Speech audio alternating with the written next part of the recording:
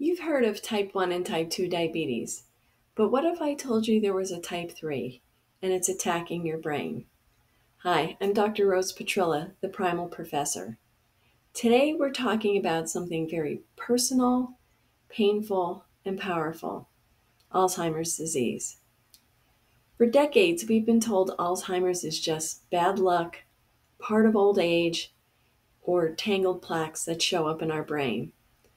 But new science tells a very different story, one that puts you in control.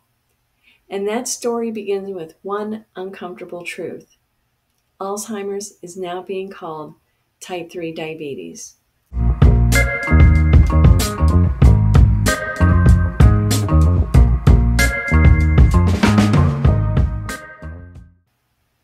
So let's go back before the 1970s. Alzheimer's was rare. It wasn't something people worried about, much less had to plan for. But in the 1980s and 90s, I remember I graduated in 1988 from college. The cases skyrocketed, and they even got worse. Today, over 6 million Americans are living with Alzheimer's, and now it's the fifth leading cause of death in adults over the age of 65. That surge mirrors the rise in obesity and diabetes and insulin resistance. That's not a coincidence, that's cause and effect.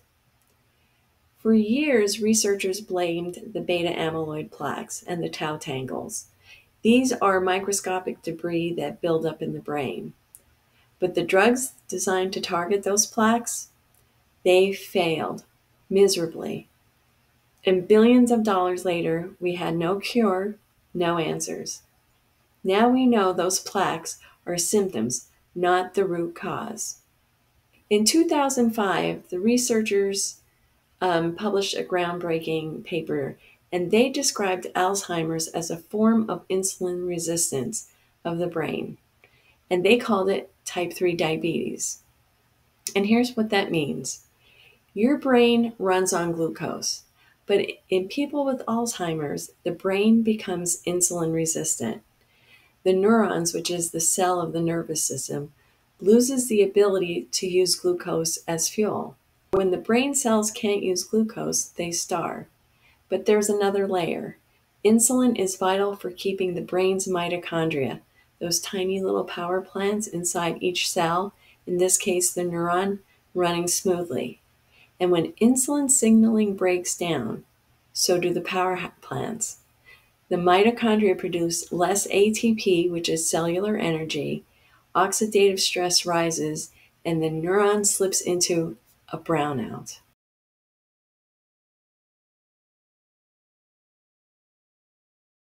Long before you're in full blown dementia, we see brain energy warning lights, brain fog, multitasking trouble, mood swings, word finding glitches. They're everyday signs that the neurons are running on a dying battery. It isn't a fuel shortage, it's a fuel access problem, and the gas tank is full, but the engine can't use it. And here's where it gets re- even more tragic. Conventional diabetes treatments often worsen the problem because we keep feeding the body more sugar, more insulin, and more glucose than the brain can handle.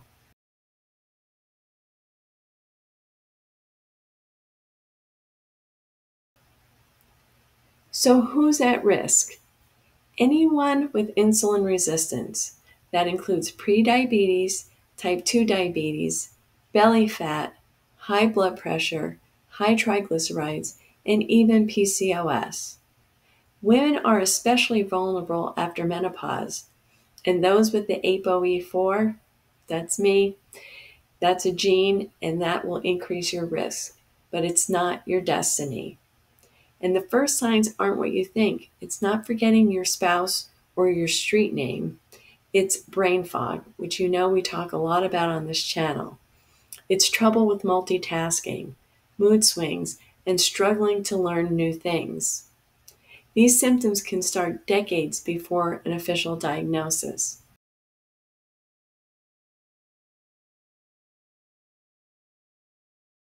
Alzheimer's is diagnosed clinically. That means memory testing, functional assessments, and in some cases, brain imaging like an MRI or a PET scan. But by the time it shows up clearly on a scan, the damage is already done. That's why early detection and even better, early prevention matters so much. If you're worried, ask your doctor to test your fasting insulin, your HbA1c, and your CRP, which is an inflammatory marker, not just your cholesterol, and tell them you're having symptoms. So, now here's another reason fat is so critical to your brain beyond just ketones. Yes, your brain is made up of 60% fat, but here's something even more fascinating the brain produces its own cholesterol. It doesn't rely on dietary cholesterol, instead, it synthesizes cholesterol de novo.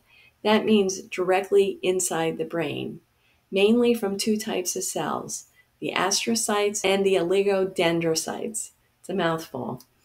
And through a series of enzymatic reactions that convert acetyl CoA into cholesterol, this allows the brain to maintain a steady supply of that vital lipid, cholesterol, which is essential for the neuron membrane, that's the coating of the cell, the synapse formation, and that's where the, the transmission of an impulse goes from one neuron to the next, and the myelin integrity. All this is critical for your central nervous system and your peripheral nervous system to work properly. So, when you nourish your body with healthy fats, you're not just supporting ketone production, you're providing the raw materials your brain needs to maintain its architecture, repair itself, and to communicate effectively, transmitting those signals to the rest of the body.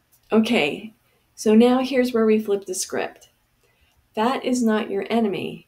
Your brain is, again, made up of near, nearly 60% fat. It runs beautifully on ketones. Ketones are clean burning fuel made from fat. They don't require insulin, and when glucose metabolism fails in the brain, ketones can step in and save the day. That's why people on keto and carnivore diets often report improved focus, memory, clarity. The fog lifts, the lights come back on. I've seen it myself, and that's why I've gone on a keto diet, one of the reasons, and also a carnivore diet. And I will tell you, you have much better mental clarity. I did watch a show um, that I thought was very uplifting, and I wish more places uh, took this type of care. If you've ever known someone in a personal care home, you know the food that they provide um, are, is a very high carbohydrate diet. And there's this personal care home in Arizona that puts their Alzheimer's residents on a ketogenic diet. And guess what? Some of them improve. One woman, or many of them improve. One woman improved so much, they interviewed her, she was able to go back to her home. Dr. Bret Scher from the Medical Mind YouTube channel interviewed the gentleman who owns these personal care homes. His name's Hal Cranmer.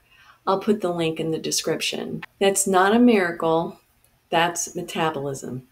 Keto doesn't cure Alzheimer's, but it gives the brain a fighting chance. So, what can you do today?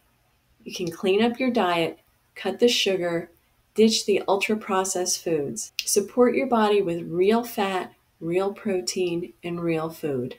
And most of all, remember it's not too late. Your brain is listening to every bite you take. If this resonated with you, share it with someone you love. Alzheimer's doesn't have to be a mystery, it doesn't have to be your fate. Make sure you subscribe for more videos on metabolic health, insulin resistance, and the power of food to heal. I'm Dr. Rose Petrilla, and until the next time, stay sharp, stay strong, and stay curious. I'll see you in the next video.